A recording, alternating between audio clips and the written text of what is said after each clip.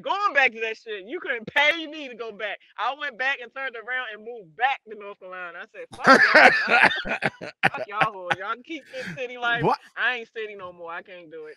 Why you why you choose why you choose North Carolina? You could have just went down a little bit further and and and chose Georgia. Why why you chose North Carolina over Georgia?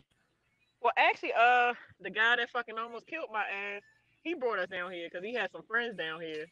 So Mhm. I ended up moving down here with him, and I was living down here with him for like almost two years until he cut me. Then when he cut me, I had to, you know, figure something out. So after he cut me, I went and found a place and started rebuilding. I just stayed down here for my kids' sake because I know Baltimore wasn't much for raising kids up there. So I was looking out for my babies. So Pinky, you you you documented that too, as well as uh being in a in a in an abusive relationship. How did you uh how did you manage to be to get the strength to come up out of that? like I said, I mean, I've been struggling all my life. Like I said, I've been on my own since 15. So I'm kind of used to always having to pick up, start over again, deal with this problem, deal with that problem. I ain't never really had no easy life. So that's why it's so easy for me to deal with problems because I'm I'm kind of used to it. It's, it. It shouldn't be nothing that you used to, but you do get used to it. You get kind of numb to the bullshit after a while. You just think, fuck Alright. it. Oh well, something else. I need to figure out this how to fix this. Oh well.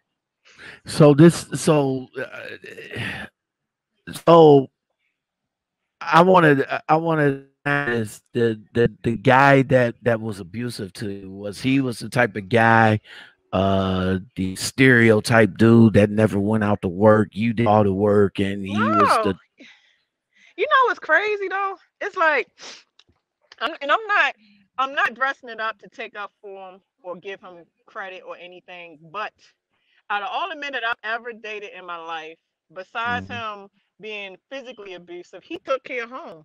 Like he paid all the bills. I really didn't have to work if I didn't want to. Like he did things for me, like take me on trips. Like he made, and he even took care of my kids, and I didn't have to ask. Like financially, he took care of home. He just had a hand problem. now do you He think just had a because do you do you think because because of all that he felt that he kind of owned you because he was doing Some all of that feel like that. Some men do feel like, well, I'm doing everything, so if you don't do what I tell you or you backmouth me, bop. So, cause you know me, I don't give a fuck who you are. I mean, if I gotta say something, I'm gonna say it. And that's not like I said, that's a lot of times why I got into altercations.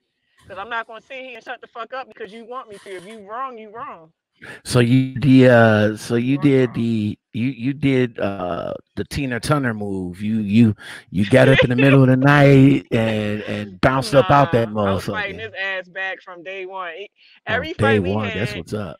he might have did black my eye and cut me up and all that shit, but I fought back through the process of it. I done slapped that Okay. nigga upside the head with ash glass ashtrays. I done fucking punched his ass a couple times in the face. So I got some hits in. He just got me good with the knife. That's all. So and after that, you just figure you you just figure it was toxic and one of y'all you, you just said one of y'all had to go. Because my kids seen all that. Like, like after he cut me, right? You know, I passed out in the house, and I think Mhm. the officer made my son get a belt because I was shooting out blood. So the officer had to actually tourniquet my arm so that I wouldn't bleed out and die. So he actually got my arm tourniquet and they rushed me to the hospital to where I got like almost 200 stitches inside and out because he actually cut me down to the bone. Like he filleted Wow. my damn arm, like to the bone.